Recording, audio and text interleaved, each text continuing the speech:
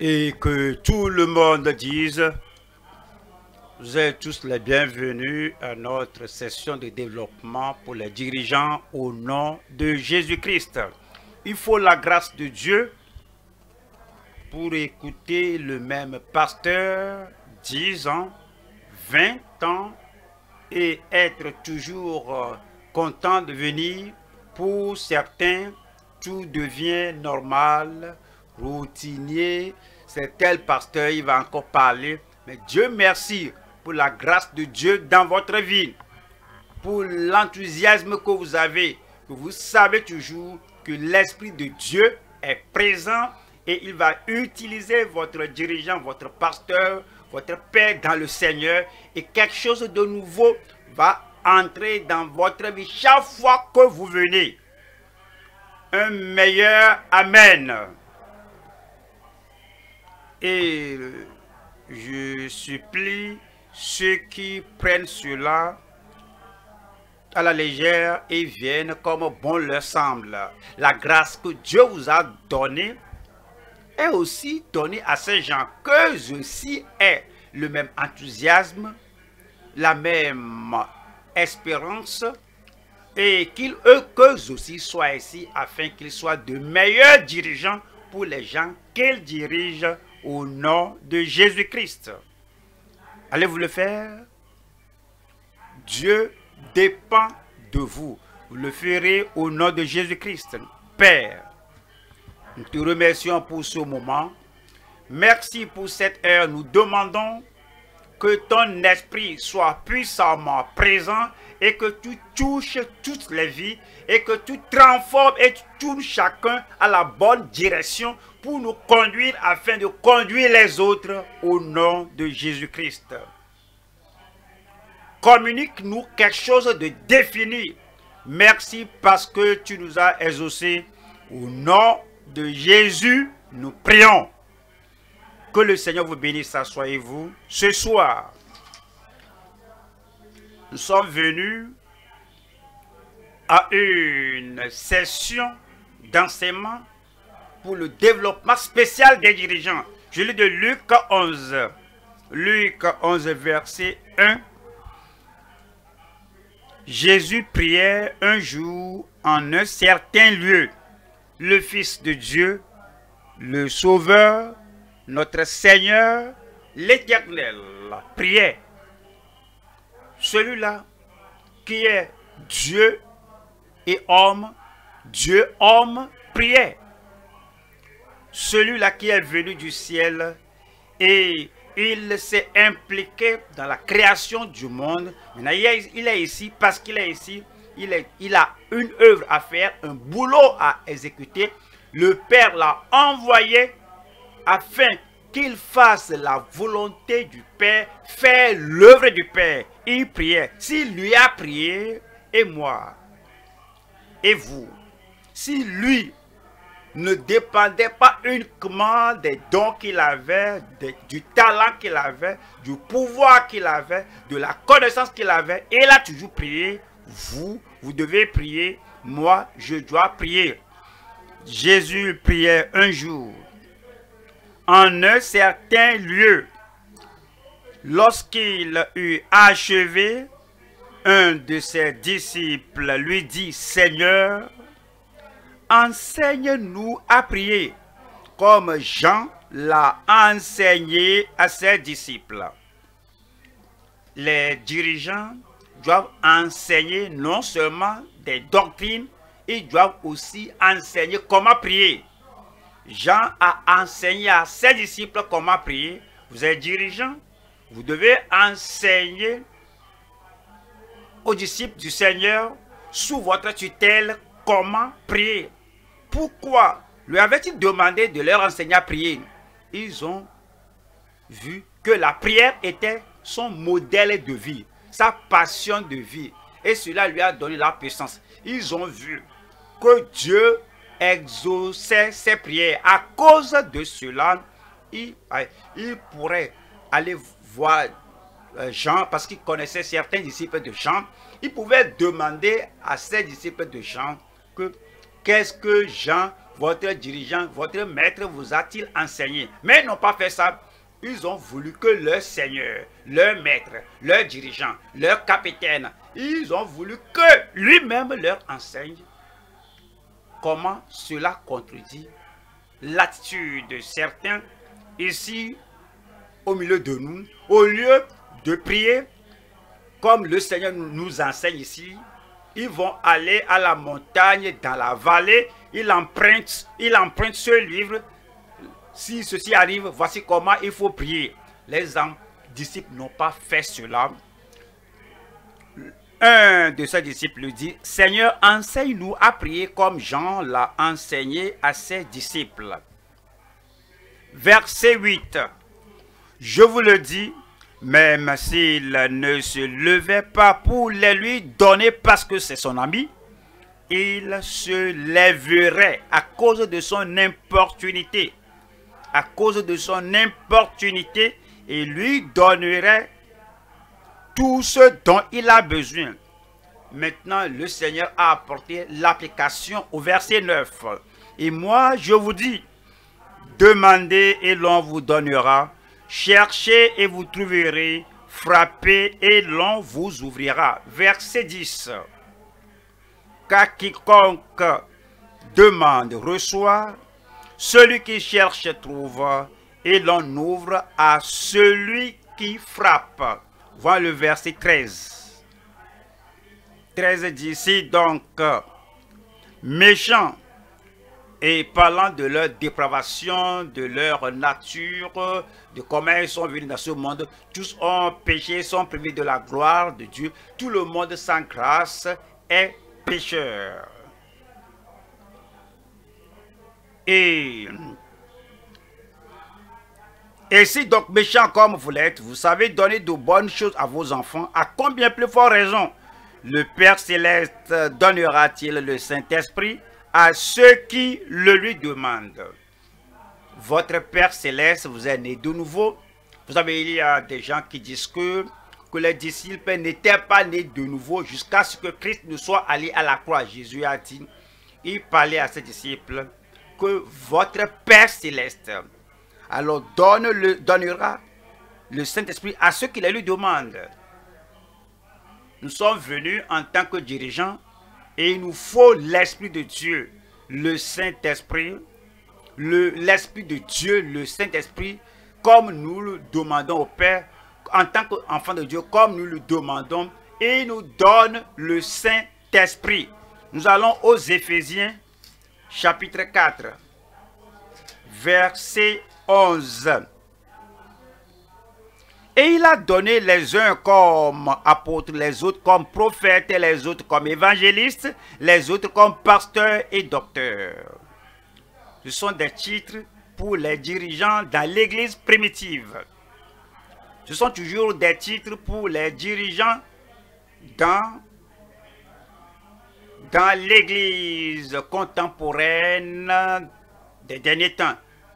Ici, on a apôtres, prophètes, évangélistes, évangélistes et pasteurs, docteurs. Nous allons nous concentrer sur les dernières et, il y a, oh oui, les derniers titres. Il y a évangéliste, pasteur et docteur. Le dirigeant évangéliste, le dirigeant pasteur, le dirigeant docteur. Oh, combien avons-nous besoin du Saint-Esprit dans notre vie? À commencer, nous sommes nés de nouveau, nous sommes nés de nouveau par la conviction et la conversion du Saint-Esprit. Et celui qui n'a pas l'Esprit de Christ n'est pas de lui. Et à la naissance, étant né de nouveau, et à l'admission dans le royaume de Dieu, à l'entrée dans le royaume de Dieu, si, si un homme ne naît d'eau, de l'esprit, la parole n'est d'eau, la parole est de l'Esprit, le Saint-Esprit, il ne peut entrer dans le royaume de Dieu. Il nous dit que les païens sont sanctifiés par l'Esprit de Dieu. Alors, il s'implique dans notre salut, il s'implique dans notre sanctification. Le Saint-Esprit, c'est lui qui nous rend saints aussi. Il nous rend saints dans notre esprit.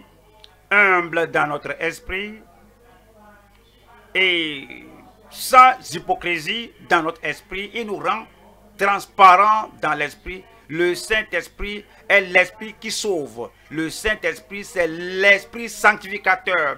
Le Saint-Esprit, c'est également celui-là qui nous remplit lorsque nous sommes baptisés.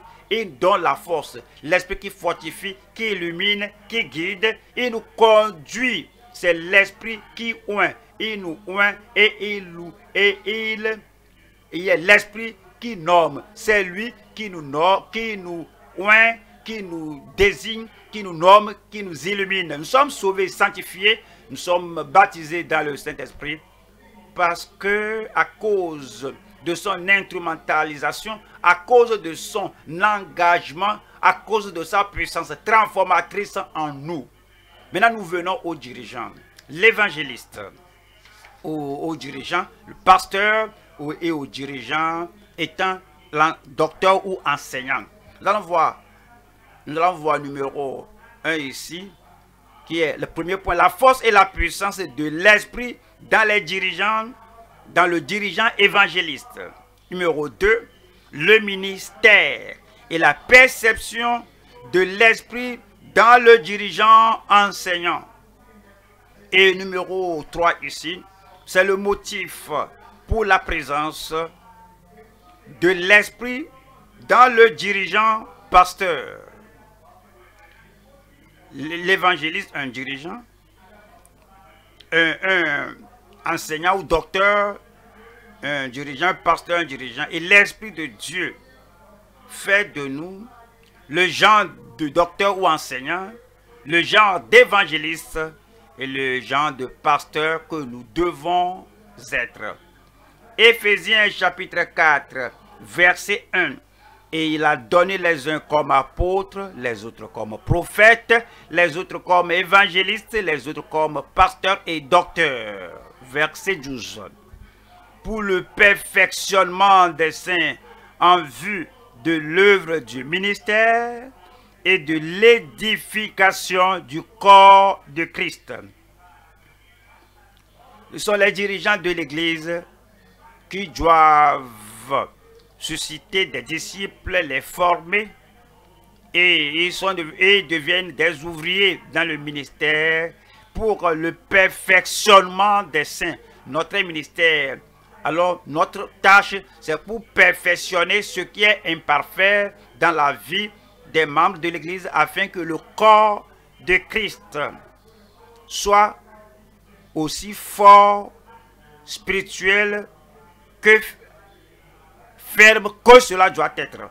Verset 13 jusqu'à ce que nous soyons tous parvenus à l'unité de la foi et de la connaissance du Fils de Dieu, à l'état d'homme fait. C'est notre but. C'est pourquoi nous allons. C'est ce qui fait notre prière. C'est pourquoi nous attendons que le Seigneur fasse, qu'il fasse cet perfectionnement des saints. Pour le perfectionnement des saints en vue de l'œuvre du ministère et de l'édification du corps de Christ numéro 1, nous allons voir ici le premier point, la force et la puissance de l'esprit dans le dirigeant évangéliste. Deuxième Timothée chapitre 4, le verset 5 qui dit, mais toi, sois sobre en toutes choses, supporte les souffrances, fais l'œuvre d'un évangéliste.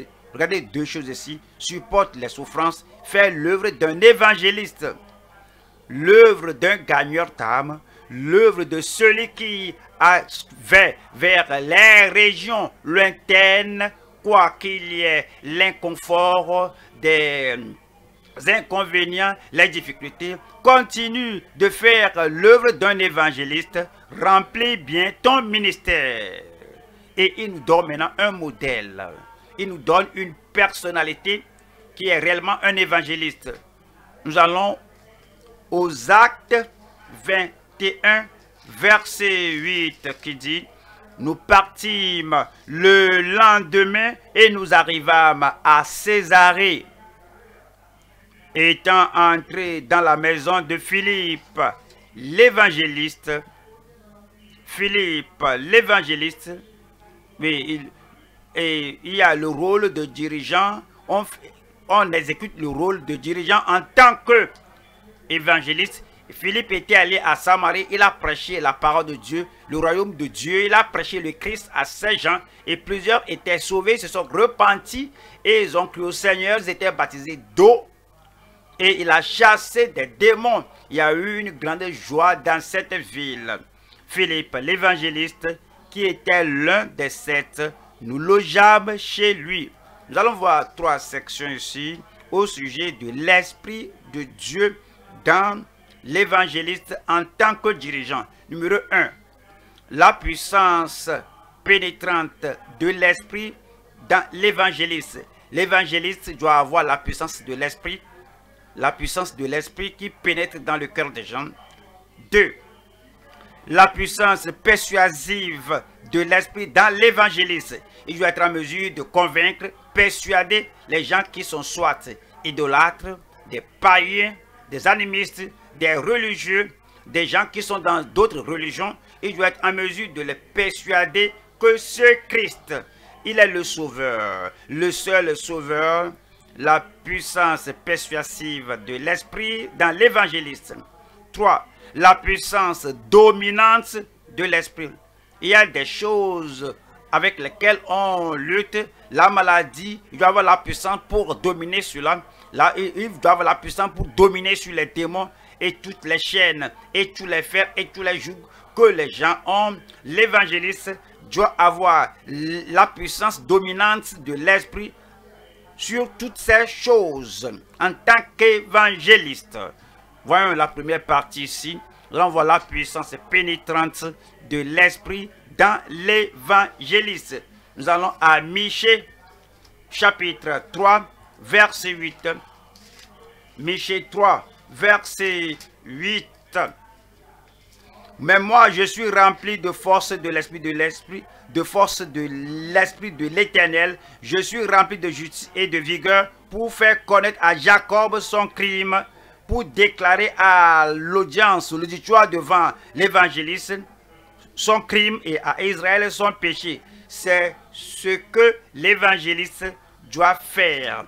En Jean chapitre 16, verset 7, voici la promesse du Seigneur qui dit ici que, cependant, je vous dis la vérité, il est avantageux que je m'en aille, car si je ne m'en vais pas, le consolateur ne viendra pas vers vous, mais si je m'en vais, je vous l'enverrai. L'Esprit, le Saint-Esprit, la troisième personnelle, la, troisième personnelle de la divinité, le Saint-Esprit, je vous l'enverrai. Le verset 8. Et quand il sera venu, l'Esprit, il convaincra le monde en ce qui concerne le péché. C'est le ministère de l'évangélisme.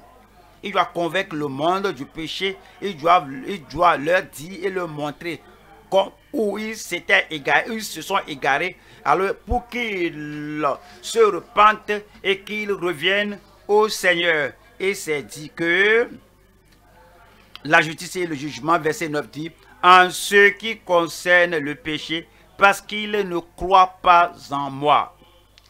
Tous ceux qui ne croient pas au Seigneur, ils vivent dans le péché. Et l'évangéliste a cette puissance pénétrante pour les amener sous une conviction. Le verset 10 dit, la justice, parce que je vais au Père et que vous ne me verrez plus. Verset 11 dit, le jugement parce que le prince de ce monde est jugé. C'est ce que l'évangéliste fait, il convainc les gens, quoique le prince de ce monde soit jugé. Acte 2, 36. Et Pierre s'est tenu devant une foule et il s'est tenu comme un évangéliste, le prédicateur qui va les convaincre du péché et les appeler au Sauveur. Et ils viennent au Sauveur, ils sont nés de nouveau. Le ministère de l'évangéliste. Acte 2, 36. Que toute la maison d'Israël sache donc avec certitude que Dieu a fait Seigneur et Christ, ce Jésus que vous avez crucifié.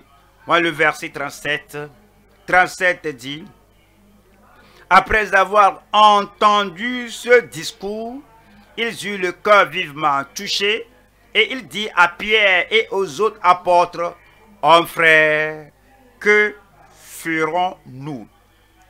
L'évangéliste, avec la puissance pénétrante de l'Esprit de Dieu, doit doit conduire les pécheurs au point qu'ils soient, ah, qu'ils soient convaincus et condamnés. Maintenant, ils voudraient se convertir, mais ils ne savent pas comment. Alors, ils demandaient maintenant à l'évangéliste, que devons-nous faire? La parole est entrée en eux, la parole les a rentrés, rentré en eux, qui sont pécheurs, il leur faut le salut. Ils, voudraient savoir ce qu'il faut, faut, ce qu'il faut pour être pour être né de nouveau, l'évangéliste doit leur dire, voici le voie, la voie, la voie du salut, la voie de la vie.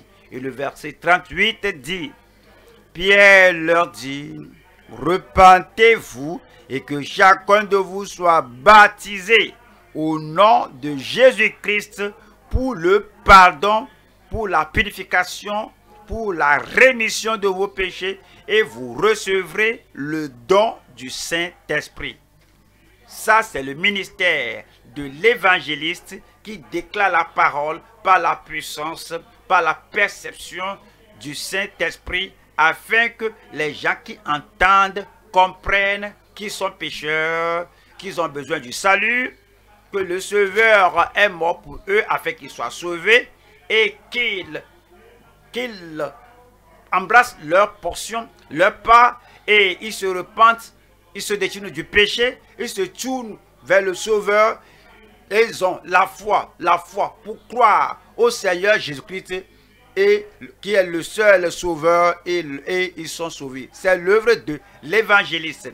Voici la deuxième portion ici, qui est la puissance persuasive. La puissance persuasive de l'esprit dans l'évangéliste.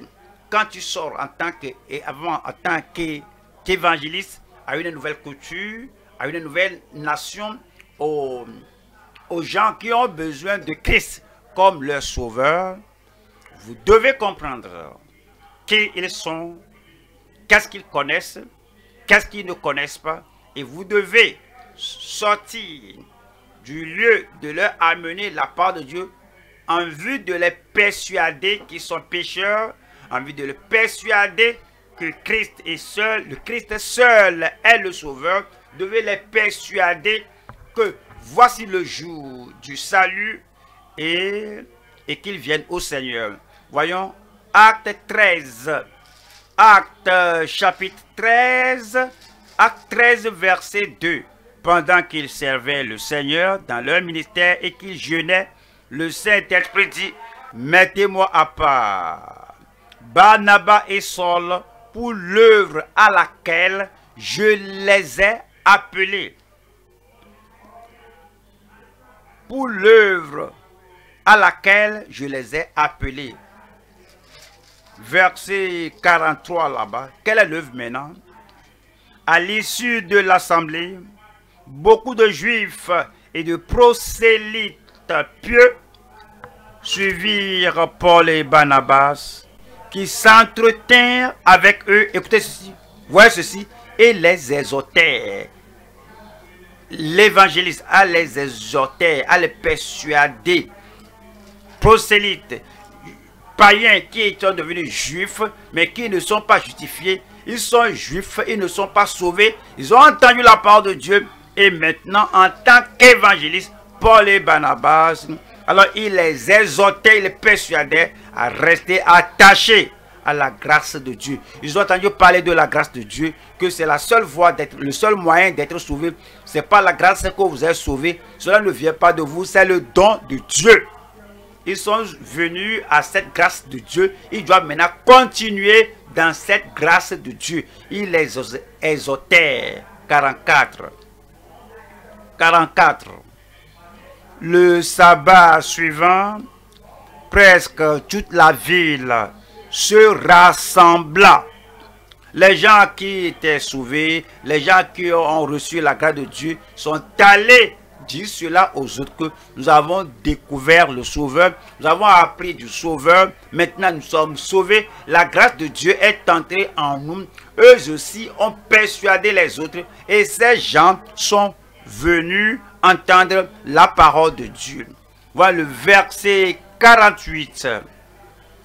48 nous dit, les païens, les païens se réjouissaient en entendant cela il glorifiait la parole du Seigneur et tous ceux qui étaient destinés à la vie éternelle crurent.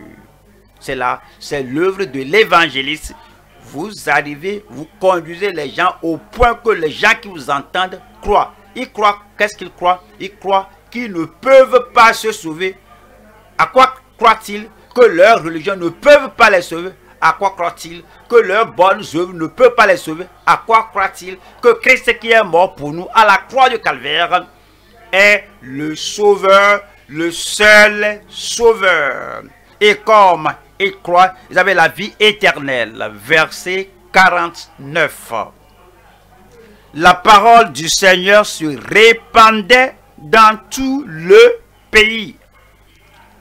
Nous allons au chapitre 18, acte 18. Voilà le verset 4.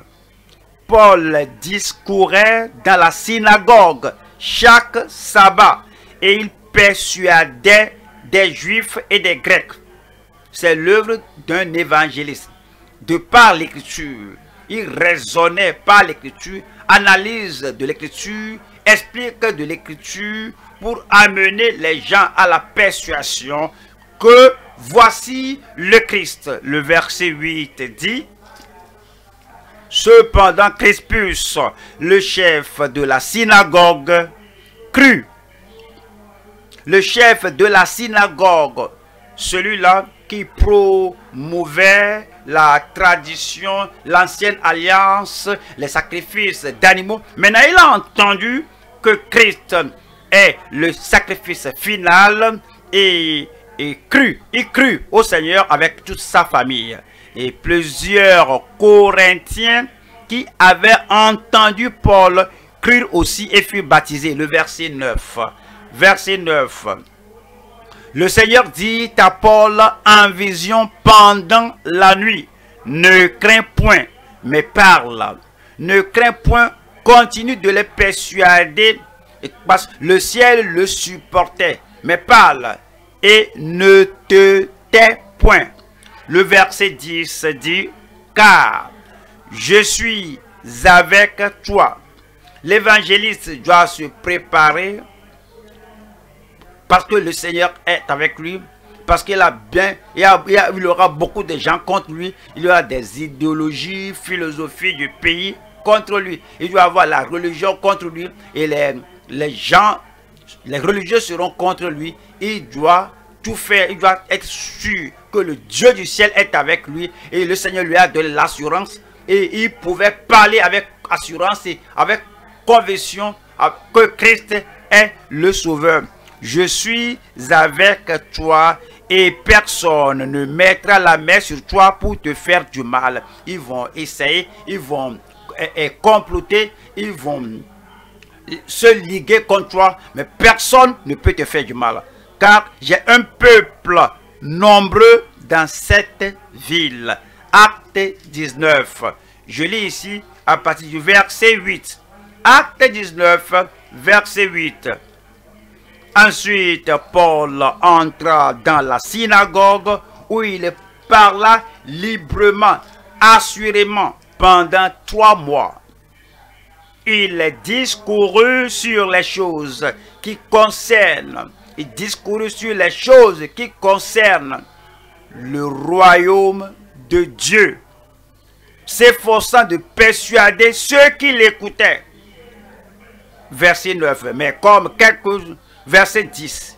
Cela, cela durera deux ans, de sorte que tous ceux qui habitaient l'Asie, juifs et grecs, entendirent la parole du Seigneur. Verset 18. Le résultat de sa prédication aux païens, aux pécheurs et sont venus au Seigneur. 18. Plusieurs de ceux qui avaient cru venaient confesser et déclarer ce qu'ils avaient fait. 19. Et un certain nombre de ceux qui avaient exercé les arts magiques ayant porté leurs livres et leurs grilles les brûlèrent.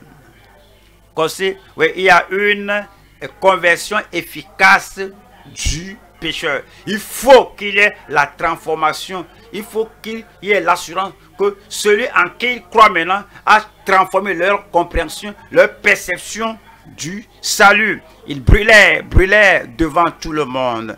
On en estima la valeur à 50 000 pièces d'argent.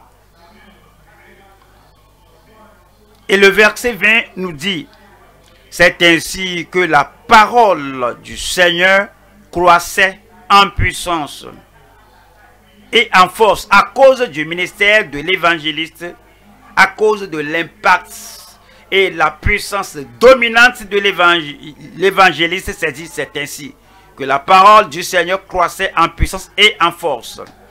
Verset 26, Acte 19, 26 dit, et vous voyez et entendez que, non seulement à Éphèse, mais dans presque toute l'Asie, ce Paul a persuadé, ce Paul a persuadé, Paul qui se tenait comme évangéliste, Paul qui prêchait comme un évangéliste, ce Paul a persuadé, mot, la puissance persuasive. Un évangéliste doit en avoir. Alors que ces gens rejettent leur religion pour venir à Christ et savoir que qu'ils sont persuadés. Ce Paul a persuadé d'étudier une foule de gens en disant que les dieux faits de main d'hommes ne sont pas des dieux. le verset 27 dit, le danger qui en résulte, ce n'est pas seulement que notre industrie ne tombe en discrédit. C'est encore que le temple de la grande déesse Diane ne soit tenu pour rien. Ils sont arrivés à ce point. Et même que la majesté de celle qui est révérée dans toute l'Asie et dans le monde entier ne soit réduite à néant. la troisième partie ici, c'est la puissance dominante de l'esprit à travers l'évangélisme. L'évangélisme a aussi la puissance dominante par l'esprit de Dieu. La puissance qui domine sur le pécheur et il se soumet. La, la, la puissance qui domine, qui, domine sur les démons et les maladies. Les démons sont chassés, les maladies sont guéries. La puissance dominante de l'esprit à travers l'évangéliste.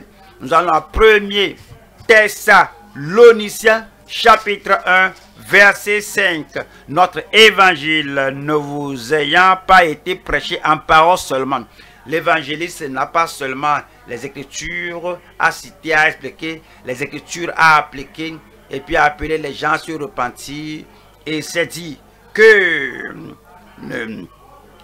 en parole seulement, mais avec puissance, avec l'Esprit Saint et avec une pleine persuasion, car vous n'ignorez pas, car vous n'ignorez pas que nous sommes, nous nous sommes montrés ainsi parmi vous à cause de vous verset, 16, verset 6. Et vous-même, vous avez été mes imitateurs et ceux du Seigneur en recevant la parole au milieu de beaucoup de tribulations avec la joie du Saint-Esprit. 7. En sorte que vous êtes devenus un modèle pour tous les croyants de la Macédoine et de l'Achaïe. Verset 8. Non seulement en effet la puissance du Seigneur a retenti de chez vous dans la Macédoine et dans la Caïe, mais votre foi en Dieu s'est fait connaître en tout lieu. de telle manière que nous n'avons pas besoin d'en parler. Le verset 9 dit, car on raconte à notre sujet quel assez nous avons eu auprès de vous et comment vous vous êtes convertis à Dieu en abandonnant les idoles pour servir le Dieu vivant et romain. Romains 16. La puissance dominante par l'Esprit de Dieu à travers l'évangéliste. Romains 15. Le verset 18 car je n'oserais mentionner aucune chose que Christ n'ait pas faite par moi pour amener les païens à l'obéissance par la parole et par les actes. Verset 18. Verset 19.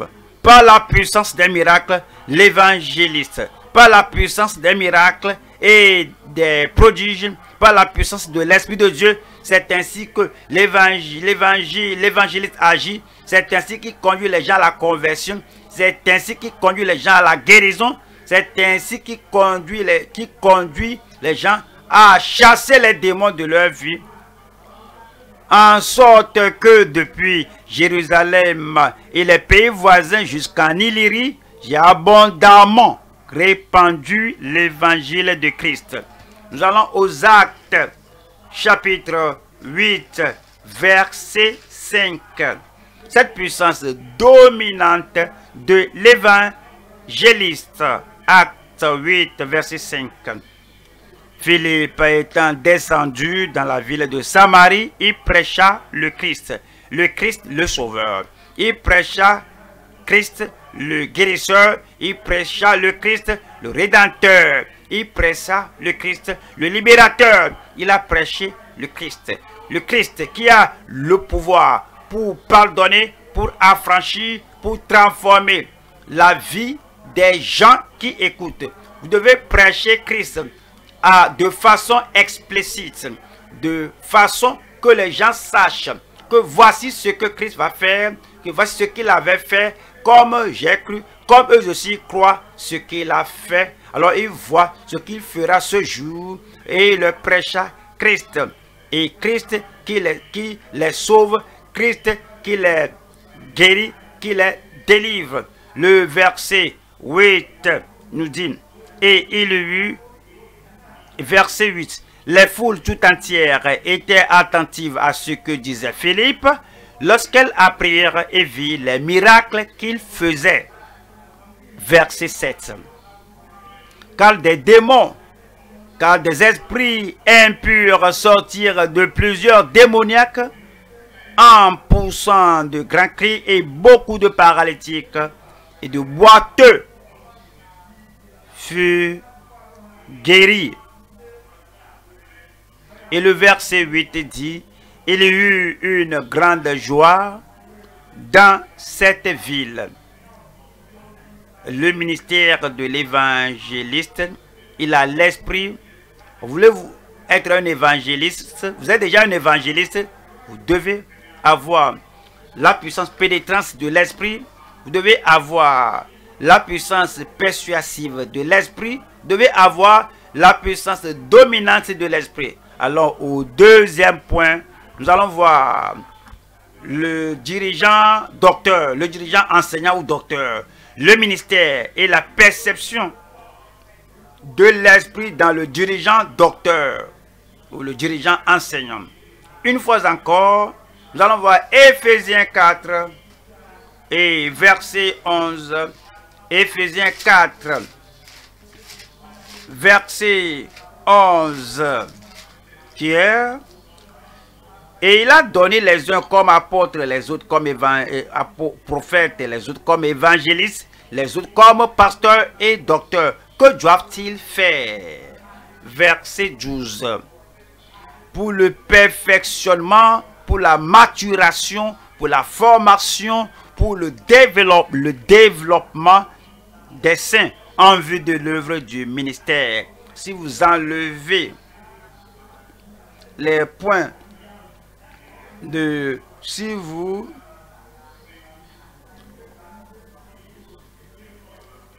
et vous développez les saints afin qu'eux aussi soient et efficacement formés pour l'œuvre du ministère, en vue de l'œuvre du ministère et de l'édification du corps de Christ. Et dit que nous continuons jusqu'à ce que, verset 13, jusqu'à ce que nous soyons tous parvenus à l'unité de la foi. L'évangéliste ne doit pas s'arrêter, les personnes ne doivent pas s'arrêter, les docteurs ou enseignants ne doivent pas s'arrêter, les apôtres, les prophètes ne doivent pas s'arrêter jusqu'à ce que nous, le corps de Christ, jusqu'à ce que nous soyons tous parvenus à l'unité de la foi et de la connaissance du Fils de Dieu, à l'état d'homme fait, à la mesure de la statue parfaite de Christ.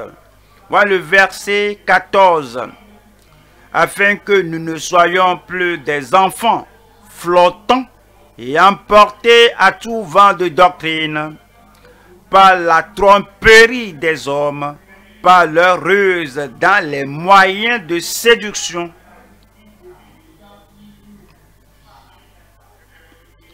Et nous allons voir trois sections ici au sujet du docteur ou enseignant Numéro 1, la réanimation des cœurs par l'esprit à travers l'enseignant. Les, enseignants ne doivent pas être un, un discoureur monotone, mou, un, un, discoureur euh, qui n'intéresse pas les gens. Les gens, le, les gens sont en train de l'endurer, quand il va finir, mais il ranime le cœur des gens avec l'enseignement de la parole de Dieu. Deux, le sondage des cœurs par l'esprit à travers l'enseignant. Et trois, nous allons voir ici euh, la vision, la, la vision de l'esprit pour les cœurs à travers les, le docteur ou l'enseignant. Un, La réanimation des cœurs par l'esprit à travers l'enseignant ou le docteur. Et Luc 23, le ministère euh, du, docteur ou l'enseignant, ce qu'il fait avec euh, l'enseignement, il ranime euh, le cœur des gens. Le, Luc 23, verset 5. Mais il insistait et dirigeait. Il soulève le peuple et enseignant par toute la Judée, depuis la Galilée où il a commencé jusqu'ici, c'est Christ. Il avait l'esprit sans mesure. Et dans son enseignement, ici, il excite, il soulève le peuple, il ranime le cœur, il excite le cœur, il leur a fait montrer que tous ceux qui connaissaient ne va pas les sauver. Il leur faisait savoir que le Sauveur est maintenant venu. Il les a soulevés. Il, a, leur a dit que si vous ne croyez pas que je suis celui-là, vous allez mourir dans vos péchés et ils doivent euh, ruminer cela, ils doivent euh, penser à cela. Alors, il a ranimé le cœur. Luc 24, 32. Luc 24 au verset 32. Et ils se dirent l'un à l'autre, notre cœur ne brûlait-il pas au-dedans de nous lorsqu'il, lui Christ, nous parlait en chemin et nous expliquait les Écritures? Notre cœur ne brûlait-il pas au-dedans de nous lorsqu'il nous enseigne Lorsque l'enseignant ou le docteur parle, alors il suit Christ, il imite le modèle de Christ, il touche le cœur des gens, il ranime les gens, il excite les gens, le cœur brûle au-dedans d'eux. Alors, alors il arrive au niveau de comment prendre la décision pour quitter ce niveau, pour aller à un niveau supérieur. Jérémie, Jérémie, Jérémie. Et ma parole n'est-il pas du feu Lorsque la parole vient? Euh, en contact avec quelque chose, il faut, euh, il doit avoir euh, Jérémie 23, verset 29, qui dit Ma parole n'est-elle pas comme un feu, dit l'Éternel, et comme un marteau qui brise le roc? Il y a des gens qui disent que, que les gens sont durs, ils sont endurcis, ils sont difficiles, ils sont rigides.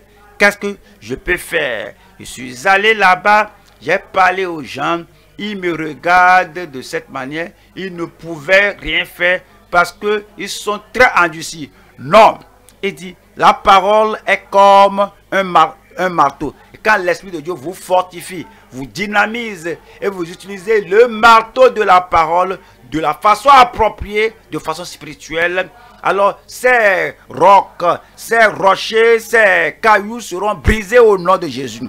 La parole est comme un feu aussi dur, aussi endurci que quelqu'un soit. Quand le feu vient, les hommes ne, ne croissent pas au niveau de, de rester dans le feu sans qu'il soit brûlé. Quelque chose doit arriver. Le feu de la parole par l'esprit va brûler. Va les brûler au nom de Jésus-Christ. Et c'est dit aux Hébreux chapitre 4, verset 12. Hébreux 4, 12. Car la parole de Dieu est vivante et efficace, plus tranchante qu'une épée quelconque à deux tranchants, pénétrante jusqu'à partager âme et esprit, jointure et moelle, elle juge les sentiments et les pensées du cœur. Elle juge les sentiments et les pensées du cœur. Lorsque l'enseignant ou le docteur enseigne, l'intention est bien examinée dans le cœur des gens et toutes leurs pensées et tous leurs projets sont affectés, touchés par la parole de l'enseignant. Et le verset 13 dit, Nulle créature n'est cachée devant lui, mais tout est à nu et à découvert aux yeux de celui à qui nous devons rendre compte. Voilà la deuxième session ici, c'est au sujet de l'enseignant, du docteur. L'esprit sonde les cœurs. L'esprit scrute les cœurs. Le sondage des cœurs par l'esprit à travers l'enseignant. Psaume 139, 23. Sonne-moi, ô Dieu, comment Dieu fait cela? Par le tonnerre Non. Comment Dieu fait cela? Par les choses naturelles sur la terre Non. Psaume 139, verset 29. Il nous sonde par sa parole. Sa parole venant de la bouche de l'enseignant, le docteur l'enseignant, nommé par Dieu, ou par l'Esprit de Dieu. Psaume 139, 23. Sonde-moi, ô Dieu, et connais mon cœur. Éprouve-moi et connais mes pensées. La, la parole de Dieu pénètre dans le cœur comme l'enseignant enseigne. Cela examine les pensées et le cœur. Le verset 24 dit, Regarde si je suis sur une mauvaise voie et conduis-moi sur la voie de l'éternité. Jérémie 17, verset 9. Jérémie 17, verset 9. Le cœur est tortueux par-dessus tout et il est méchant. Qui peut le connaître? Verset 10. Moi, l'Éternel, j'éprouve le cœur par la parole. Moi, l'Éternel, j'éprouve le cœur par, par l'enseignant inspiré illuminé par l'Esprit. Moi, l'Éternel, j'éprouve le cœur. Je sonde les reins pour rendre à chacun selon ses voies, selon le fruit de ses œuvres. Le Seigneur sonde le cœur, éprouve le cœur par le ministère de l'enseignant de la parole, afin que comme nous connaissons notre cœur, notre condition, nous serons en mesure de, de retourner à Dieu, à Christ au calvaire, et par la puissance purificatrice de ce sang de l'agneau, un changement est effectué et une transformation est là. C'est le ministère de l'enseignant. Proverbe, Proverbe 28, verset 11. L'homme riche se croit sage, mais le pauvre qui est intelligent le sonde.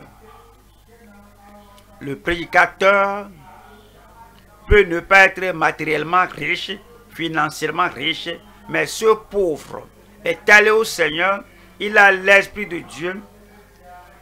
Pendant que l'homme riche s'assied là-bas et il est content de lui-même, il est imbu de lui-même, ce pauvre enseignant vient, il a la parole de Dieu dans sa bouche.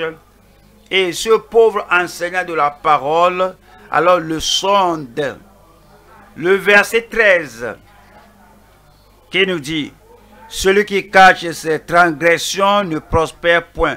Le pauvre enseignant peut être assez audacieux pour dire et déclarer que celui qui, riche, pauvre, homme, femme, qui cache ses transgressions ne prospère point. Point. Spirituellement, ne prospère point. Dans la voie de l'esprit, dans la voie du royaume, ne prospère point pour entrer dans le royaume de Dieu. Mais celui qui les avoue et les délaisse, l'enseignant souligne que cela ne suffit pas de confesser. L'enseignant doit marteler le, le, la tête du clou. Ce n'est pas seulement confesser, il faut, il faut délaisser, avouer. Celui, il faut avouer et délaisser. Celui qui les avoue et les délaisse obtient miséricorde. Parce que le salut vient par la miséricorde. Acte 24, 24. Voici le ministère de l'enseignant la parole de Dieu. Acte 24, 24. Quelques jours euh, après, Félix vint avec Drusille, sa femme qui était juive, et il fit appeler Paul. Il l'entendit sur la foi en Christ. Paul était invité et cet officier, ce grand avec sa femme là-bas, il y a des gens qui vont suivre l'esprit humain. Et voici, et voici un roi, voici un juge, voici quelqu'un qui a le pouvoir politique. Je dois être prudent maintenant. Je ne dois pas dire tout ce que je connais. Je ne dois pas prêcher ce que je connais. Cet homme, Paul, en ce temps-ci, était emprisonné. Et cet homme a le pouvoir pour le libérer. Mais Paul ne cherchait pas la libération, il cherchait le fait de remplir le ministère que Dieu lui a confié. Et 25 dit, mais comme Paul discourait sur la justice, sur la tempérance et sur le jugement à venir, Félix effrayé ça, c'est le ministère de l'enseignant de la parole de Dieu. Ceux qui sont dans le péché, vous ne permettez pas à ces pécheurs, qui qu'ils soient, quelle que soit la, position qu'ils qu'ils détiennent, quel que soit le pouvoir, l'autorité qu'ils ont, pour emprisonner, incarcérer, libérer la personne ou laisser la personne en prison là, le vrai enseignant, docteur de la loi, ne va pas marcher les mots, n'aura pas peur, il ne pense pas à lui-même, il ne pense pas à son confort, il ne pense pas à, à, son plaisir, il ne pense pas à la douleur. Il y a des gens qui parlent pour éviter la douleur. Et que la douleur est terrible. Je ne veux plus avoir de douleur. Mais l'enseignant ne pense pas au fait d'éviter la douleur pour s'attirer le plaisir il veut une seule chose que la personne à qui je m'adresse, parce que son âme est d'une valeur éternelle. Si je ne lui dis pas comment il faut être sauvé, sortir du péché, venir au sauveur, il peut ne pas avoir personne qui lui, qui lui dit cela, donc je dois le dire. Ça, c'est l'attitude et c'est l'attribut d'un enseignant, un enseignant de la parole. Et Félix, Félix effrayé dit, pour le moment, retire-toi, quand j'en trouverai l'occasion, je te rappellerai. L'homme n'était pas sauvé, mais il avait l'occasion soit de, de décider pour Christ, soit de rester là où il est. Numéro 3 ici, voyons la vision de l'esprit pour les cœurs à travers l'enseignant. C'est l'esprit de Dieu qui nous donne la vision, qui nous donne la compréhension, qui nous donne la pénétration en tant que docteur ou enseignant de la parole de Dieu. 1 Corinthiens 2, verset 9, qui dit, mais comme il est écrit, ce sont des choses que l'œil n'a point vues, que l'oreille n'a point entendues, et qui ne sont point montées au cœur de l'homme, des choses que Dieu a préparées pour ceux qui l'aiment. Verset 10. Dieu nous les a révélées par l'Esprit. Ce que l'œil n'a pas vu, le salut, l'effet du salut, la transformation que nous avons au travers du salut, la justice, la justice transparente qui accompagne le salut, ce que l'œil n'a pas vu, la sanctification, la sainteté, la sainteté transparente sans hypocrisie, la sanctification,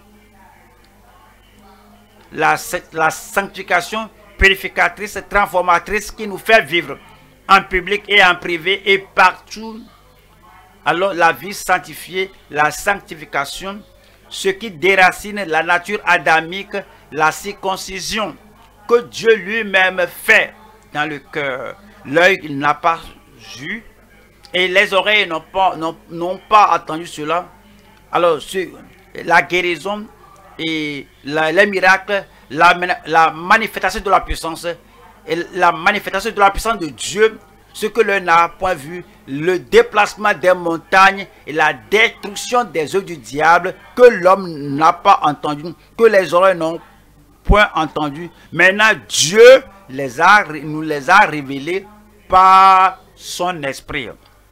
C'est pourquoi l'enseignant qui enseigne la parole euh, va vouloir va élever les auditeurs de ce qu'ils connaissent à ce qu'ils ne connaissent pas, de ce qu'ils ont entendu, de ce qu'ils n'ont pas entendu, de ce qu'ils ont vu, de ce qu'ils n'ont pas entendu. Un tel enseignant doit être rempli de l'Esprit de Dieu. Car l'Esprit, car l'Esprit sonde tout même les profondeurs de Dieu. Verset 11. lequel des hommes en effet connaît les choses de l'homme, si ce n'est l'esprit de l'homme qui est en lui. De même, personne ne connaît les choses de Dieu, si ce n'est l'esprit de Dieu. Si vous voulez connaître ce que les autres n'ont pas, l'esprit de Dieu qui demeure à profusion, entièrement, absolument en vous, doit vous enseigner. Verset 12. Or nous, nous n'avons pas reçu l'Esprit du monde, mais l'Esprit qui vient de Dieu, afin que nous connaissions les choses que Dieu nous a données par sa grâce. Verset 13. 13 dit, Et nous en parlons non avec des discours qu'enseigne la sagesse humaine, mais avec ce qu'enseigne l'Esprit, ce qu'enseigne le Saint, que ce qu'enseigne l'Esprit, employant un langage spirituel pour les choses spirituelles. Nous allons Éphésiens, Éphésiens, chapitre 3, verset 7. dont j'ai été fait ministre je ne me suis pas fait ministre. Si lui vous fait ministre, alors tout don de ministère, de ministère seront mis en vous, dont j'ai été fait ministre selon le don de la grâce de Dieu, qui m'a été accordé par l'efficacité, par l'efficacité de sa puissance. Verset 8. À moi, qui suis le moindre de tous les saints, cette grâce a été accordée d'annoncer aux païens les richesses incompréhensibles de Christ. Le verset 9 et de mettre en lumière quelle est la dispensation du mystère caché de tout temps en Dieu qui a créé toutes choses. Pensez-y du commencement du monde, de la Genèse à Malachie, ce que les gens du monde ne connaissaient pas. Maintenant, cela lui a été révélé par l'Esprit. Et lui, il est appelé docteur enseignant à venir enseigner cette parole. Alors, qui, qui, cette parole qui sera une richesse euh, incompréhensible de la parole de Dieu par Jésus-Christ qui crée tout. Job. Job 34, 31. Car a-t-il jamais, car a-t-il jamais dit à Dieu, j'ai été châtié, je ne pécherai plus. C'est le résultat de l'enseignant. Il est demeuré par l'Esprit de Dieu. Il enseigne aux gens et ils ont reconnu que, que je suis fautif dans ce domaine. Je n'y pense pas. Je suis ben, fautif dans ce domaine. Maintenant, j'accepte la correction. Alors, euh, je ai dit que je j'ai été châtié, je ne pécherai plus. Et 32, montre-moi ce que je ne vois pas. Alors, montre-moi ce que je ne vois pas. Si j'ai commis des injustices, je n'en commettrai plus. Voilà chapitre 33, Job 33. Job 33, lisons le verset 23. Mais s'il se trouve pour lui un ange intercesseur, un d'entre les mille qui annonce à l'homme la voie qu'il doit suivre. C'est ce que fait l'enseignant. Il est un interprète, il est un messager du Seigneur pour montrer à l'homme réellement ce, à quoi il doit penser. Est-il est juste ou pas? Le verset 24 dit, Dieu a compassion de lui. Comme l'enseignant révélé, lui-même a répondu. Et Dieu a compassion de lui et dit à l'ange, délivre-le, afin qu'il ne descende pas dans la fosse. J'ai trouvé une rançon. C'est l'enseignant qui va montrer à l'homme ses péchés, va montrer à l'homme là le sauveur.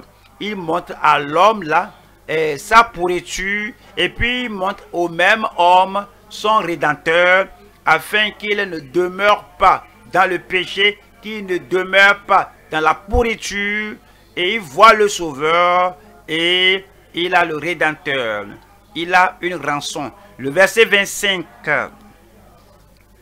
Et sa chair a plus. Sa chair est malade. Cela, euh, a affecté son, son apparence. Maintenant, maintenant, il a trouvé une rançon il a trouvé le Rédempteur. Il est allé vers le Rédempteur, il a prié le Seigneur. Et sa chair a plus de fraîcheur qu'au premier âge. Il revient au jour de sa jeunesse. Verset 26. 26 dit, il adresse à Dieu sa prière et Dieu lui est propice. L'enseignant le messager, l'interprète, c'est lui qui le conduit à prier. Lui laisse voir sa face avec joie et lui rend son innocence. Verset 27. 27. Il chante devant les hommes et dit, j'ai péché, j'ai violé la justice et je n'ai pas été puni comme je le méritais. Verset 28. Dieu a délivré mon âme pour qu'elle n'entre pas dans la fosse par le ministère de l'enseignant. L'esprit demeure dans l'enseignant, l'esprit inspire l'enseignant, l'esprit impacte l'enseignant parce, parce qu'il est l'enseignant de la parole, il amène la vérité et va faire sauver les gens d'aller dans la fosse et sa vie verra la lumière. Amen. Numéro 3 maintenant. Troisième point maintenant. Troisième point. Troisième point. Nous allons voir le pasteur. L'évangéliste, un dirigeant. L'enseignant, un dirigeant. Le pasteur, le berger, est un dirigeant. Troisième point. Le motif pour la présence de l'esprit dans le dirigeant pasteur. Revenons encore à Éphésiens chapitre 4. Éphésiens 4, verset 11. Et il a donné les uns comme apôtres, lui 4, qui donne, qui fait les dons après être montré au ciel. Et il a donné les uns comme apôtres, les autres comme prophètes. Il a suscité certains d'être prophètes, les autres comme évangélistes. Un évangéliste, lui, il se lève un évangéliste ne se lève pas et se nomme évangéliste. Qu'est-ce qu'il peut faire? Il ne peut pas tout ce que le Seigneur espère. L'évangéliste du Nouveau Testament, il ne peut pas faire tout ce que le Seigneur veut qu'il fasse. Mais lorsque Christ donne, il donne à certains, il fait de certains des évangélistes.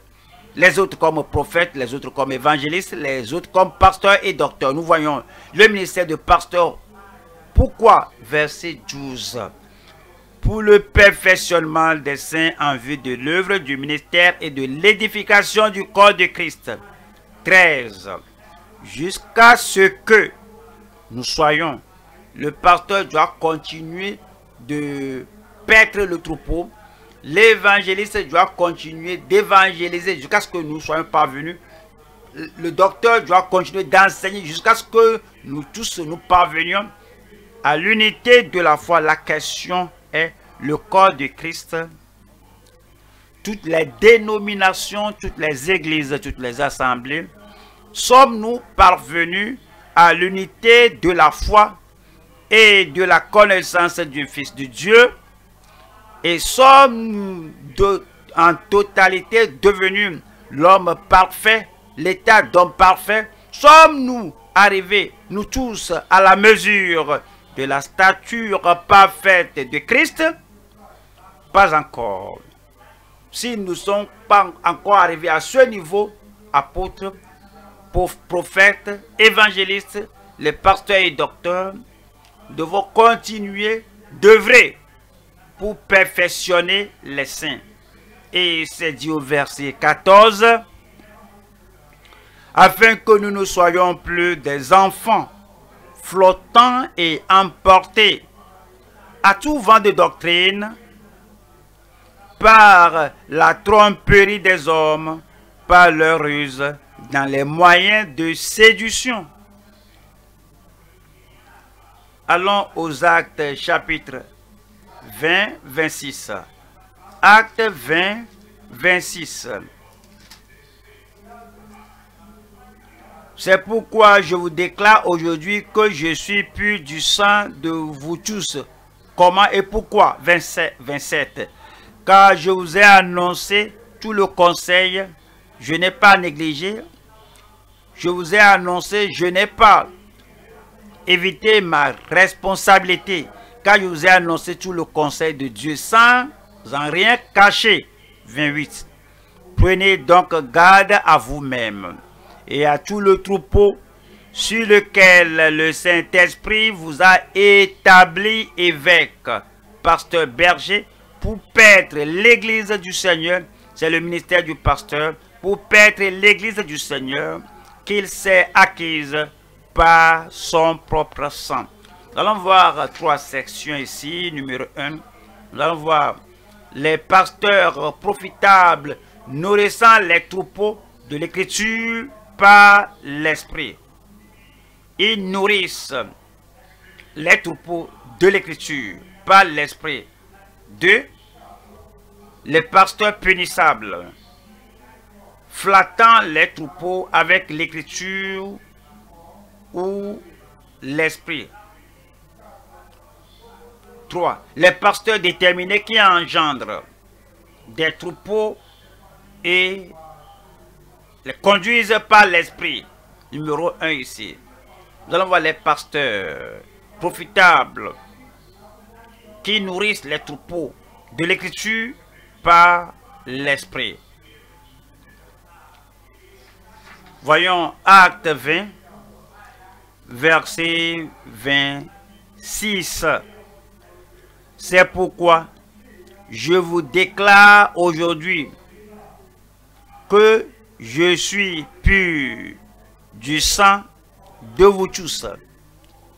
Paul parlait ici maintenant comme pasteur. 27.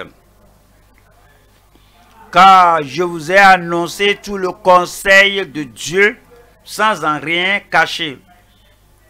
Il n'a rien, il n'a omis aucune parole importante dans les doctrines de la Bible qu'il devait dispenser aux gens. Il n'a pas évité, il n'a pas fermé les yeux sur aucune partie de la parole de Dieu à cause de celui-ci. Il a ce défi. Si je mentionne ceci là, il pourrait être blessé. Telle sœur a cette faiblesse. Et si je mentionne cela, euh, elle sera blessée, disant que le pasteur ne m'aime pas. Elle sait que, il sait que j'ai cette faiblesse. Pourquoi il mentionne cela? Mais Paul a dit que car je vous ai annoncé tout le conseil de Dieu sans en rien cacher. Maintenant, il nous dit au verset 28. Prenez donc garde à vous-même. Il parle au pasteur, à tout le troupeau. Prenez donc garde à vous-même et à tout le troupeau sur lequel le Saint-Esprit vous a établi évêque pour paître l'église du Seigneur qu'il s'est acquise par son propre sang. Verset 32. Et maintenant, je vous recommande à Dieu, frères, église, frères, sœurs, dirigeants, membres. Mais maintenant, je vous recommande à Dieu et à la parole et, la, et à la parole de sa grâce, à celui qui peut édifier. La parole de sa grâce, à celui qui peut, vous, qui peut édifier et donner l'héritage avec tous les sanctifiés. Jérémie 3.15, le ministère du pasteur qui nourrit l'église de Dieu, il doit se préparer comme les gens qui nous font manger physiquement. Et la cuisine bien pour nous donner quelque chose de nutritionnel, quelque chose de nutritif, quelque chose qui va euh, empêcher les maladies en nous, qu'on puisse manger pour avoir une immunité contre les maladies. C'est ce qu'on fait dans la parole de Dieu en tant que père spirituel et enseignant et pasteur de la parole. Jérémie au chapitre 3, verset 15. Je vous donnerai des pasteurs, des bergers selon mon cœur, et ils vous paîtront avec intelligence et avec sagesse les pasteurs qui ont selon le cœur du Seigneur, si vous êtes pasteur, si tu es prédicateur, si vous êtes berger, si vous êtes un père à certains, alors vous devez les nourrir de la parole de Dieu avec intelligence et avec sagesse. Nous allons au Jérémie 23, 4. Jérémie 23, verset 4. J'établirai, je, j'établirai J'établirai sur elles des pasteurs, des bergers qui les paîtront. Elles n'auront plus de crainte, plus de terreur, et il n'en manquera aucune, dit l'Éternel. C'est le ministère du pasteur qui, il équipe les gens, il nourrit les gens, il fortifie les gens. Ils n'ont pas de crainte, ils n'ont pas de terreur, alors ils dépendent du Seigneur en totalité. Voyons la deuxième partie ici. C'est les pasteurs punissables flattent. Les pasteurs impénissables, flattant les troupeaux avec l'écriture ou l'esprit. Il y a des gens qui veulent s'attirer des disciples, alors des, des suiveurs pour eux-mêmes, et ils flattent les gens. Et ils pensent à leur gain, ce qu'ils vont euh, avoir des gens au lieu de leur donner des choses. Acte chapitre 20, 29. Acte 20, acte 20, 29. Je sais qu'il s'introduira parmi vous, après mon départ, des loups cruels qui n'épargneront pas le troupeau. Verset 30 et qu'il s'élèvera du milieu de vous des hommes qui enseigneront des choses pernicieuses, des choses contraires, des choses, des paroles compromettantes, des paroles corrompues pour entraîner les disciples après eux. Le verset 31. Veillez donc, vous souvenant que durant trois années, je n'ai cessé nuit et jour d'exhorter avec l'âme chacun de vous. Ça, c'est la fidélité de l'apôtre Paul en tant que pasteur, en tant que père et en tant que berger. Et il dit, mais il y aura des gens qui vont venir, qu'est-ce qu'ils vont faire? Ils vont polluer le message, ils vont contredire le message céleste, ils vont compromettre la parole du Seigneur. Deuxième Pierre, chapitre 2, deuxième Pierre 2, verset 1. Il y a, eu parmi le peuple de faux prophètes, il y aura de même parmi vous de faux docteurs, de faux enseignants qui qui introduiront, qui introduiront, des, qui viendront subrepticement, qui s'insinueront, qui introduiront des sectes pernicieuses et qui, reniant le maître qui les a rachetés, attireront sur eux une ruine soudaine. Voilà le verset 2. Plusieurs les suivront dans leur dissolution ceux qui écoutent la vérité, qui écoutent la vérité, et puis le, le, discours de la vérité, l'enseignant et le pasteur qui est pénétré, qui a la vérité, peut-être il est allé avec ces gens. Il va revenir, va dire que va dire quelque chose de contraire, que le salut ne nous est plus, le, salut ne nous donne plus une, nouvelle vie, le, salut et Christ n'a pas l'effet à nous. La sanctification, oui, c'est là, mais cela ne veut pas dire que tout le monde doit être saint sanctifié. Le baptême du Saint-Esprit, oui, pour les anciens, les premiers disciples. Maintenant, on peut vivre. Et maintenant, on a la sagesse, ça le Saint-Esprit. On peut avoir maintenant quelques forces et le courage sans le Saint-Esprit. Ils viennent et les, et les, tordent le cou à la, à la parole. Et que vous croyez que personne ne les croira. Ah, plusieurs suivront dans leur dissolution et la voix de la vérité sera calomniée à cause d'eux. Le verset 3 dit, par, cupidité, ils trafiqueront de vos moyens de paroles trompeuses et que menace depuis longtemps la condamnation et dans la ruine ne sommeille point.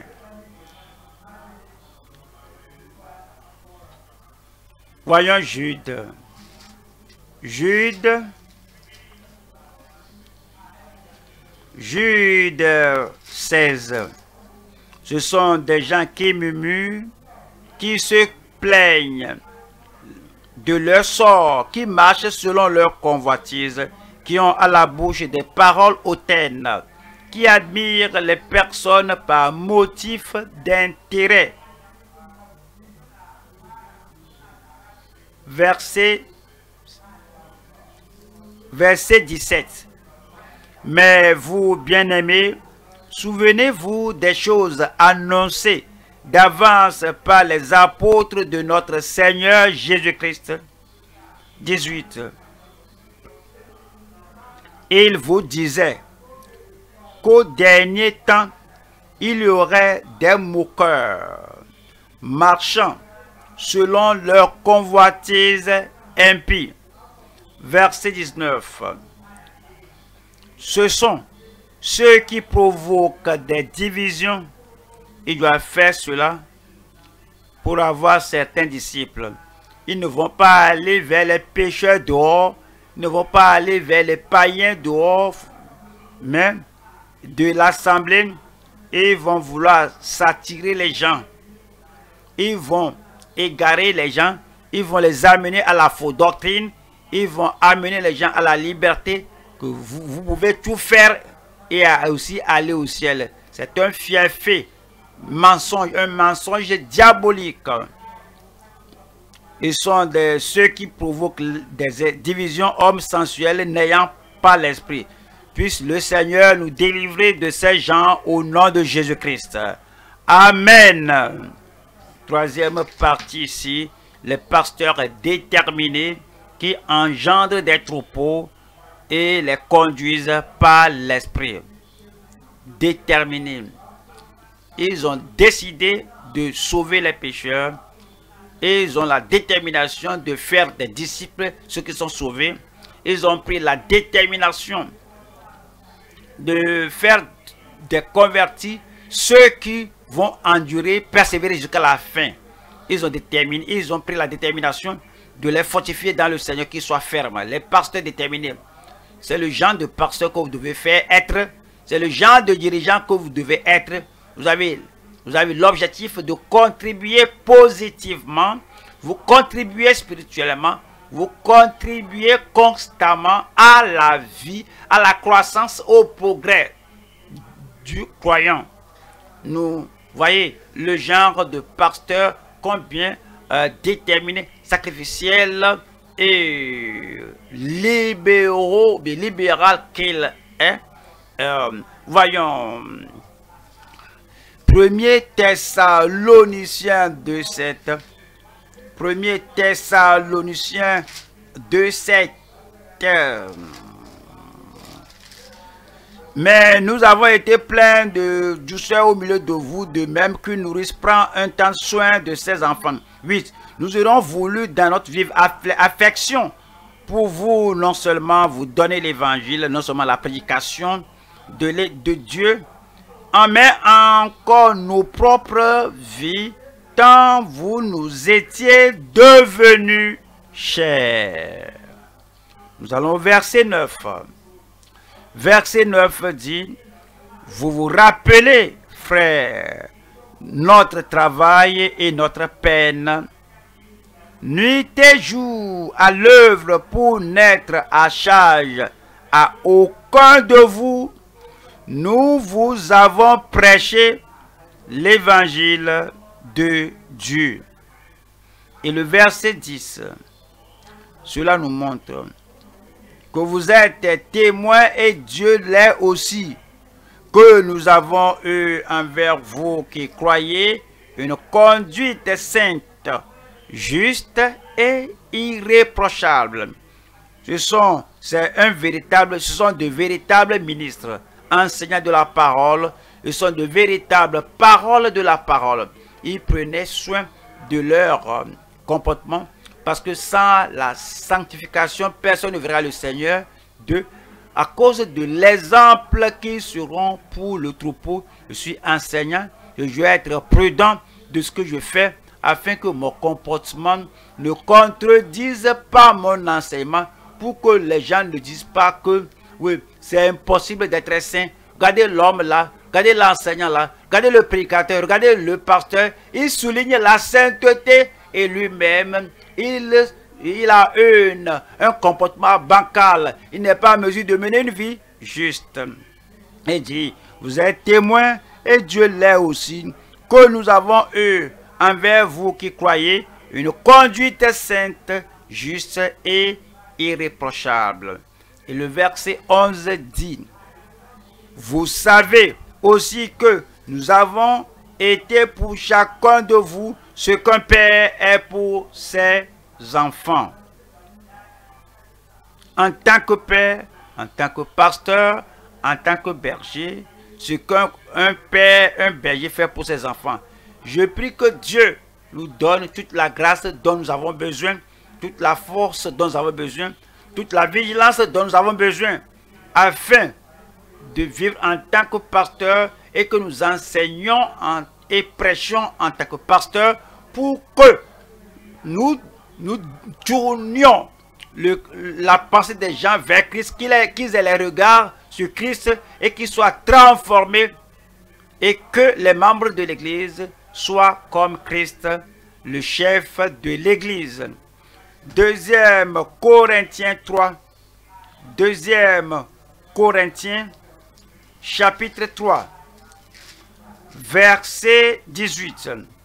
Nous tous, le maître qui enseigne, nous tous, le pasteur qui prêche, nous tous, l'évangéliste qui évangélise, nous tous qui, le visage est découvert, les enseignants, le pasteur, les évangélistes, les apôtres, tous élèvent le regard pour regarder Christ. Nous tous euh, qui le visage est découvert, contemplons comme dans un miroir la gloire du Seigneur. Nous sommes transformés, membres transformés, les ministres transformés, les ouvriers transformés, tout le monde, frères et sœurs, les membres du corps de Christ transformés, nous, à, qui nous avons prêché, nous sommes transformés en la même image, de gloire en gloire, comme par le Seigneur l'Esprit. Nous avons entendu beaucoup ce soir et je prie que la parole que nous avons entendue ait l'impact sur moi, l'impact sur vous, l'impact sur nous tous, au nom de Jésus-Christ. Que de message en message, de session à session, de formation à formation, de la session de développement à une autre session de développement, que cela apporte la croissance, qu'on aille de grâce à grâce, ayant l'image de Christ devant nous, en ayant la puissance transformatrice, notre vie transformée pour être ce que nous devons être au nom de Jésus-Christ. Que Dieu vous bénisse tous. Que Dieu vous transforme tous. Et que Dieu fasse de chacun une personne élevée plus que ce qu'on était au nom de Jésus-Christ. Tenons-nous debout maintenant pour parler au Seigneur dans la prière. Tenez-vous debout maintenant.